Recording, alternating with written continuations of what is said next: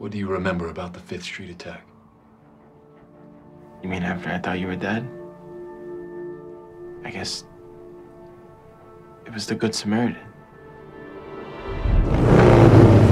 I heard his motorcycle pull up. Help!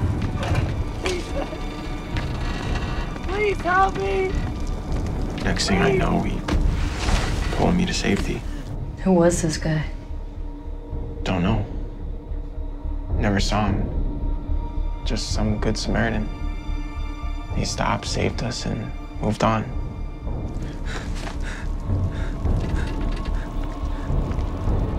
I remember he went over to you.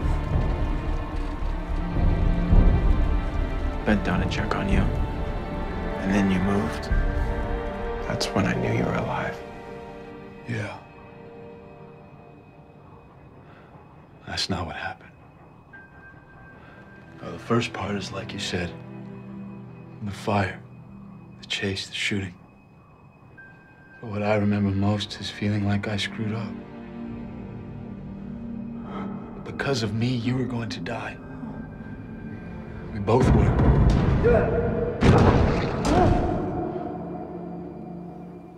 We didn't. We survived. Now, this is the part I never told you. The thing I tried to hide. When I was thrown from the car,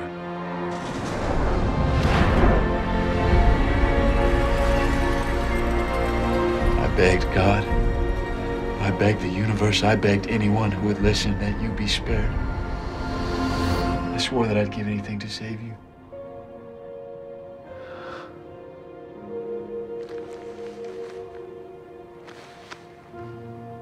Don't stop there.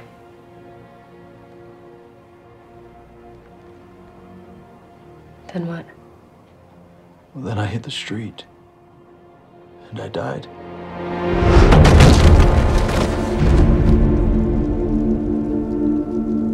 And there's nothing. It's just darkness. Then I heard a voice. It was asking me if I wanted a second chance. Did I want to punish those who hurt my brother? Did I want to avenge my own death? I answered yes.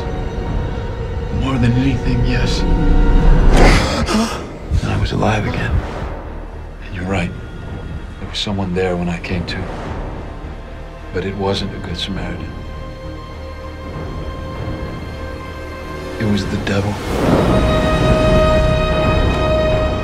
Was inside him, he passed it into me.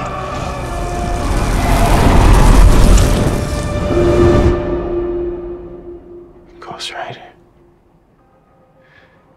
That's the deal I made. I swore to go after those who spilled innocent blood.